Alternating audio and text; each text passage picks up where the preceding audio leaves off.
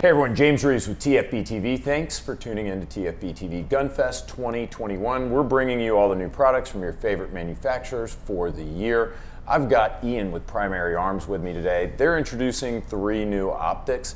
Ian, go ahead, take it away. Start us off. What are we working with? Well, um, like you'd already said, we're um, introducing three new optics. I'm going to start kind of small and work my way up to the big ones here. Perfect. So one of the ones I'm really excited about this year is um, we're doing a co-brand with Holosun, and so we're taking the the, the venerable Holosun 507, you know, a great reflex sight. It's well proven with the uh, solar panel on the top, great battery life, everything like that. Environmentally friendly. Oh, absolutely. and it's durable, rugged, um, and basically we, we partnered with them and we put one of our ACSS reticles in there. And it's the, this particular one is called the ACSS Vulcan.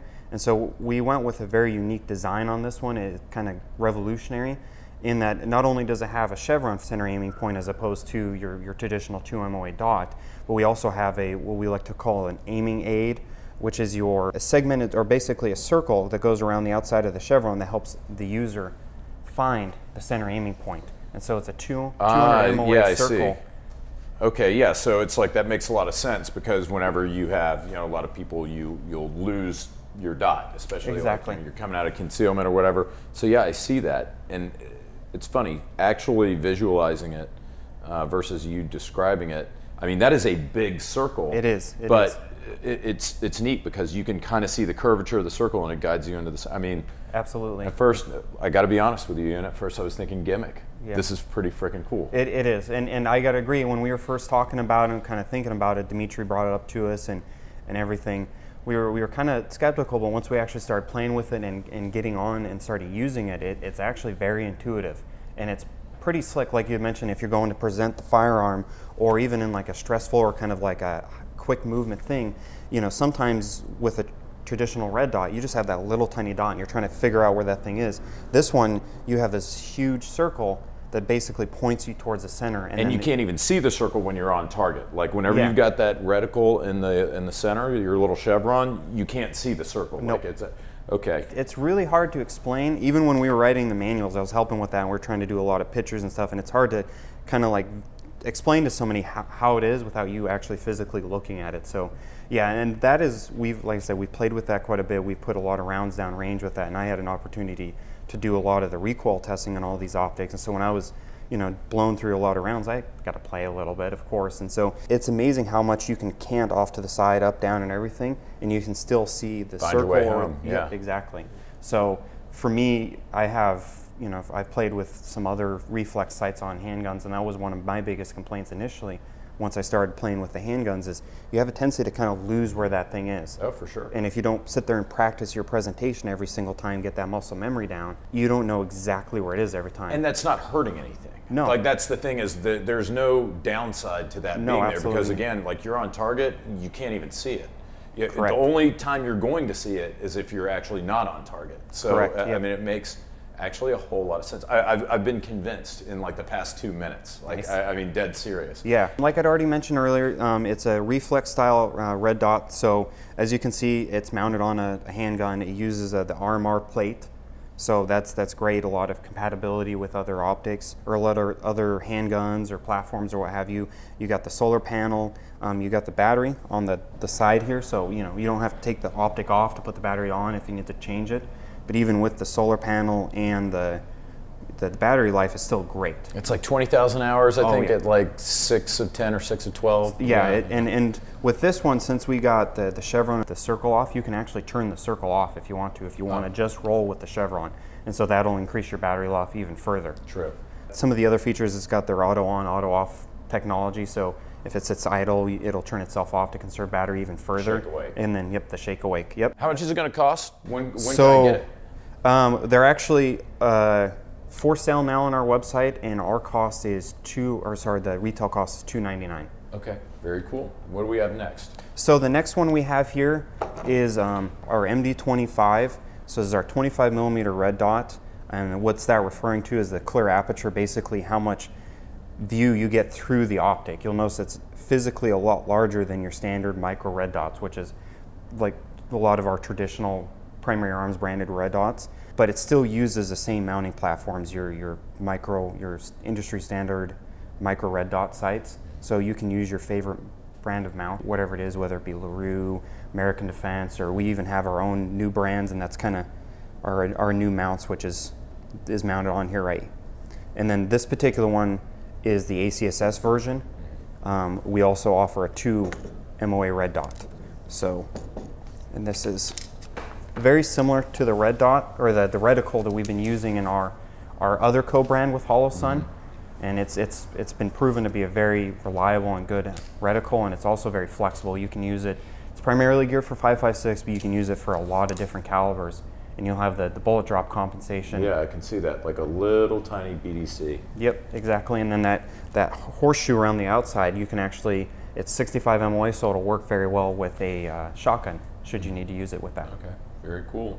Battery life on this. So that one, you're looking at, uh, with the ACSS version, you're looking about 12,000 hours on a medium setting, and then with the red dot version, about 50,000 hours. Mm, I'm going to ask you to do some math for me. What is that in years or So days?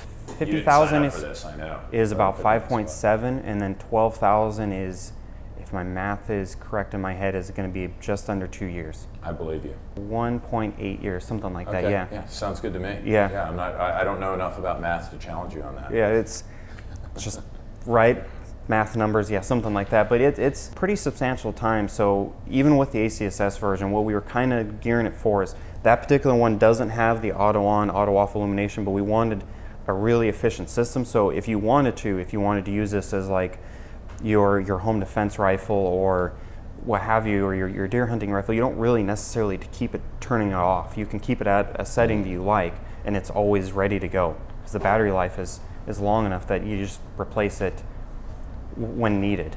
Uh, we, we usually tell people like when it's your, your birthday, you just go around, change all the batteries, Yeah, and sure. something like that. But so Yeah, kind of a crappy way to spend a birthday, but I mean, I guess yeah, you I mean, remember it. yeah, fair, fair. At least you get to fondle some guns. If I get this thing wet, is it going to crap out on me? Absolutely not. One of the things that um, we wanted to make sure is that these things could withstand real world abuse. Um, so this this is going to retail for about $169. So it's not geared for you to be doing any sort of beach assault on the moon. However, it is geared for you know your your usual shooting environments. You know, if you're going to go to the range and you throw it in your truck, or if you you're out hunting and you accidentally drop it in the river, stuff like that. It's designed to handle that stuff. We test it to a minimum of one meter, but we've had um, other optics, or we've had other people test those and they've gone in excess. We had one of our 1X prismatics that went down to 200 feet and it survived, brought it back up, not a single issue. So they're very robust optics. Um, that particular model, I personally have put 7,000 rounds of 308 on a scar through one, and at this point in time, I'm trying to break it. I've thrown it on the ground a few times. It's got like dents in the tube. Um, we've thrown it in an oven a few times. I've done a few things just to try to see what we can to, to break it. A lot of that stuff is all designed in house in Houston, Texas, or Houston, Texas, sorry. And then it was manufactured to our specifications that we designed at, at our factory in China.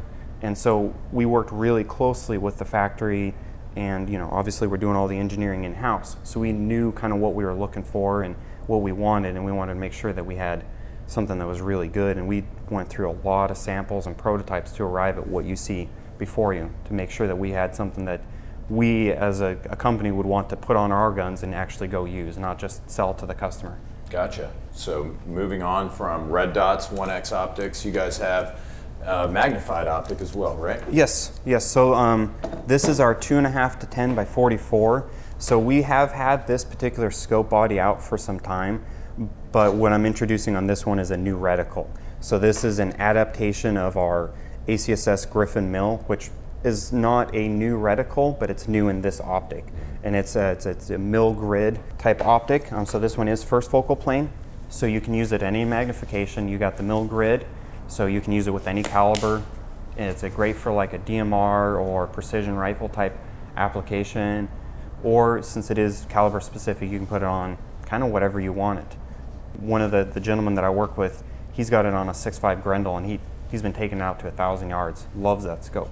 Tell me more about it. If I, I mean, I see you're saying uh, here you're introducing it with a new reticle, Correct. right? Yep. Uh, let's say I've never even heard of this optic before. So, so that is our, um, our kind of basically our mid-tier series, which we like to call our GLX. So this red dot would be our SLX, and that's kind of like the the bread and butter line, and then this is like your next tier up, our medium tier. So that is our GLX line made in the Philippines. It's got the more premium glass compared to our SLX line. Um, this one also, as we're stepping up in tier, is going to increase the, the features on it. Most of our SLX optics are going to just have your stack usual or like your normal tactical style turrets. Mm-hmm. Um, this one has got your auto locking as well as a push button. So those buttons, once you actually push it to, to the zero point and it's set, it'll lock it in place. And then if gotcha. you want to disengage the lock, you press the button. Oh, I see. Okay. And so here it's a buttons right here. Yeah. Yep. Got it. Yeah. So it's the return to zero, like. Okay. So, so, locking turrets. Basically locking yeah. turrets, and then also it's got a, a, a, stop for your zero. So once you achieve a zero, you can take that, that the turret off, set your zero point. So once you have it zeroed for 100, you can always dial down if you want to shoot further, but you can always return to your your uh, your predetermined zero. Two and a half to 10. Correct. And I see on the left hand side, am I looking at a parallax adjustment yes. or an illuminator or both? Both, actually. So um, you'll have the parallax adjustment as well as the illumination, and this will feature our AutoLive. So if it sits idle for three minutes, it'll turn itself off to conserve the battery, and as soon as you pick it up and move it around, it'll turn the illumination back on to the previous setting, as well as there's off points in between each setting.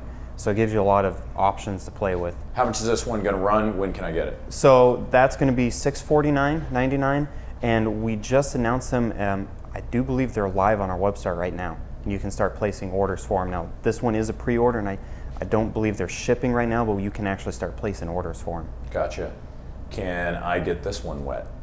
Absolutely. Um, so this one, once again, we test to a minimum of, one meter, but we've had these in excess of that.